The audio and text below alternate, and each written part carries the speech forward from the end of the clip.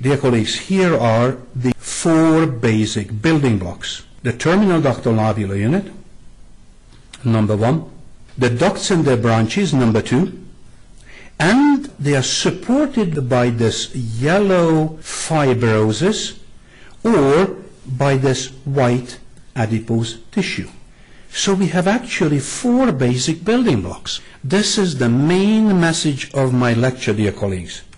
Location, location, location. When you see a mammogram and you find a cluster of calcification and another cluster and another cluster calcification and you do core biopsy and your pathologist says DCIS, that pathologist is wrong because this is a lobule and this is a lobule and this is a lobule. My warning signal is be very careful with the use of word ductal.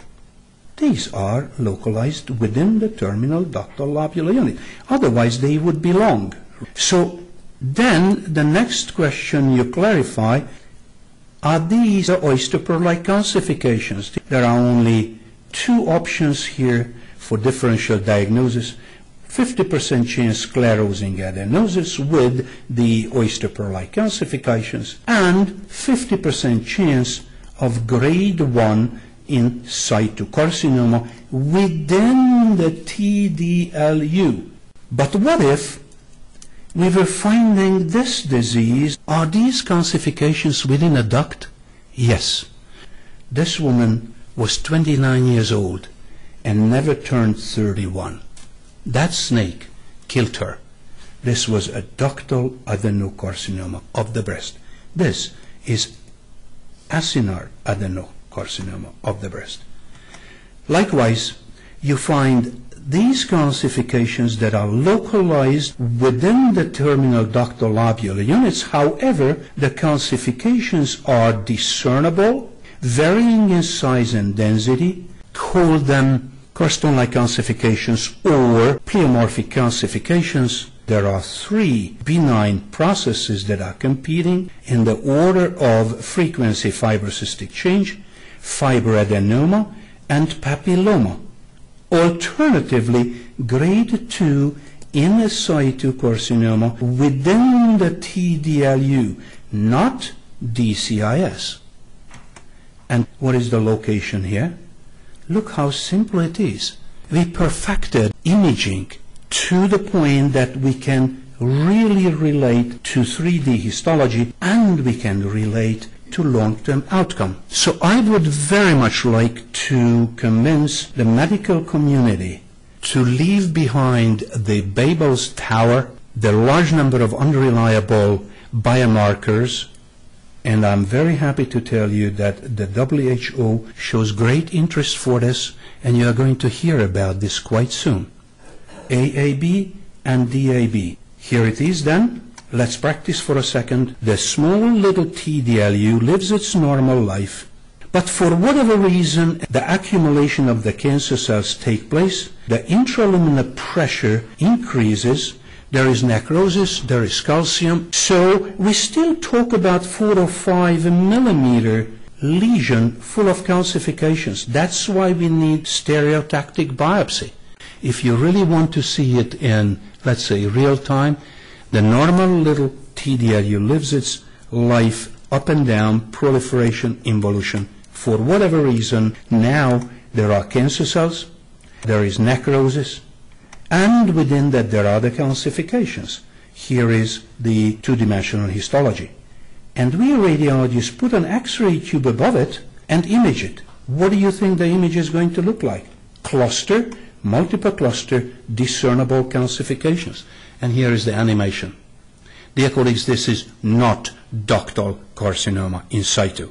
Indeed, it is a professional mistake to mislead another colleague by calling it a duct.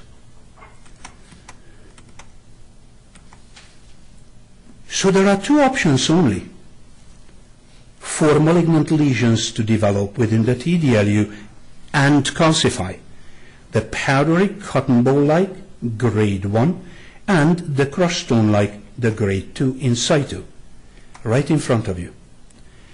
During the decades, we learned this mammographic histology correlation first we should look at the structure, the three-dimensional, and then we talk about the cells.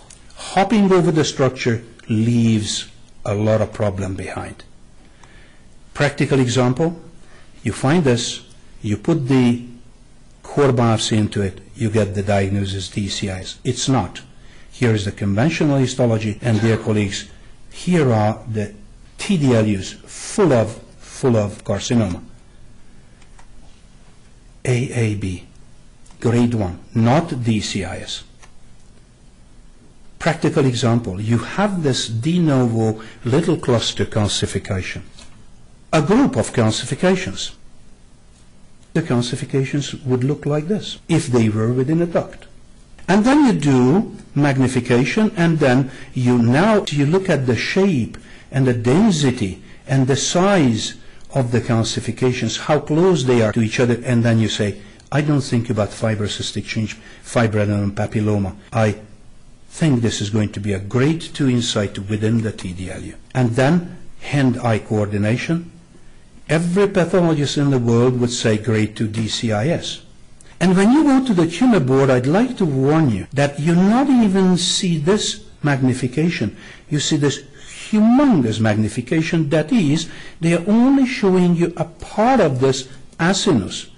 This is not a duct. This is an acinus, enormously distended. So could you just ask the colleagues, the pathologists, would you mind show me very low magnification?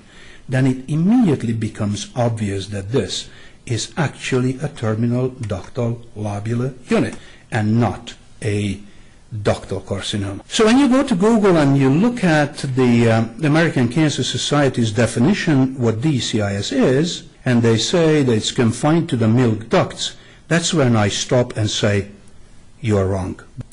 Dear colleagues, why do I say that 75% of the cancers originate from the TDLU? Because 50% of the cancers in their early phase look like this, in situ, crushed stone-like let's say 25% grade 1. And fortunately, only 25% originate from the major ducts, which makes breast cancer a good disease. And if it's 90% that originate from the acini in the prostate, prostate cancer is a good disease compared to lung cancer compared to brain tumor, compared to pancreatic cancer. And when the cancer originates in the duct, there are four different subtypes. In two, there is necrosis and there is no fluid production. In two of the subtypes, there is fluid production and there is no necrosis. The outcome is somewhat different. So, dear colleagues, we are talking about a revolution. The first breast cancer was published about 5,000 years ago, but up to 1970, physicians didn't have a chance to make a difference in the prostate or a breast cancer outcome. Since 1970, our generation made this revolution, and that's because of imaging, not because of chemotherapy, not because of adjunctive tools. We need them because there will always be advanced cancers, unfortunately, but it's early detection and proper treatment. Now, my friends who feel my frustration about the archaic histopathology practiced all over the world because therapists, surgeons changed, oncologists changed, the revolution was caused by the images, pathologists didn't change for 200 years. So I challenge the term DCIS people in America and Canada are very familiar with Dr. Seuss books. Europeans usually don't. My MR expert friend Steve Harms came to the courses once and he was kind enough to give me a little present about Too Many Daves. Have I ever told you that Mrs. McCave had 23 sons and she named them all Dave? Well, it wasn't a very smart thing to do. Why? Because when she wants to talk with this particular Dave, she doesn't get one. She gets 23 on the run. And that causes a lot of problem at the McCaves. And then she says, why didn't I call them A and B and C and D? and now it's too late. Why was I happy about this? Because then I thought I'm going to rewrite this book. Have I ever told you that Dr. Breast pathologist had 12 sons? One of them looks like this. No calcium. Intracystic papillary carcinoma in situ. The other one, no calcification but bloody nipple discharge. The third one, architectural distortion. The fourth one, some calcium. This one again, architectural distortion. Are they very different? Yes. This calcium is different from the, and that calcium, and so on. Dear colleagues, who finds in situ carcinoma? You and I, the radiologists. And we have at least 12 different mammographic appearance of a disease, but all of them get one name, DCIS. And that wasn't a smart thing to do. Why? Because when Dr. Breast Pathology says DCI has come to the tumor board, he or she doesn't get one. She gets 12 on the run. And that causes a lot of problem. So why didn't I call it grade 1 in situ within the TDLU? Easy to understand. Grade 2 within the TDLU. Grade 3 within the duct. Intracystic papillary in situ. And don't tell it's too late. Please change it. What's your suggestion? My suggestion is that I want to respect the pathologists, but they have to grow into the 21st century. Only you can tell the grade. Tell me. Grade 1. I love it. Tell grade 2. Love it. Only you can say it's in situ. But why don't you tell a location? The only thing I beg, forget about the letter D. The pathology says grade 1 in situ within the TDLU. The radiologist's mind immediately focuses on this picture. Grade 2 in situ within the TDLU. That's it. Grade 3 within the ducts. Then it has to be long. Now we talk with each other. Otherwise, DCIS is an outdated term in the era of modern imaging and histologic techniques. I hope that you're going to remember this very harsh statement. Whenever after this lecture you are going to utter the word DCIS, feel bad. Because you don't know what you are talking about and you're not communicating with others. You say, all boys are good, but what about that specific boy? That's where we are today.